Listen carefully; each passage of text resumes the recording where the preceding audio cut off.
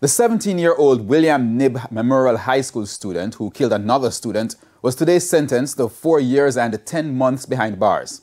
Earlier this year, he pleaded guilty to manslaughter. Family members of the deceased teen were in court today when the judge handed down the sentence. Anthony Lugg has the details.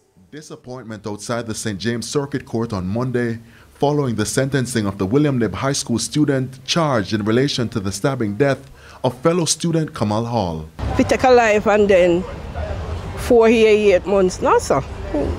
No fear. But there's nothing we can do. Hall was fatally stabbed at school during a dispute allegedly over a guard ring. In handing down the sentencing, presiding judge Andrea Thomas explained that she took into consideration a number of factors, among them the findings of the psychiatric evaluation, his age, the time spent in custody, and the fact that he pleaded guilty to the offense. I believe him should I get more sentence, you know, but there's nothing I can do. That's what they said, you know. So it was very disappointing anyway.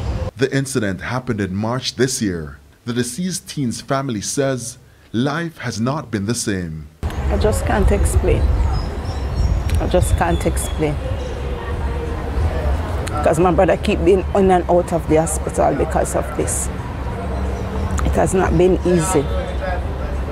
But God is the ultimate judge after everything. He's the ultimate judge. Since the incident, the Education Ministry has increased measures to address violence and other behavioral problems in schools. Anthony Lugg, TVJ News.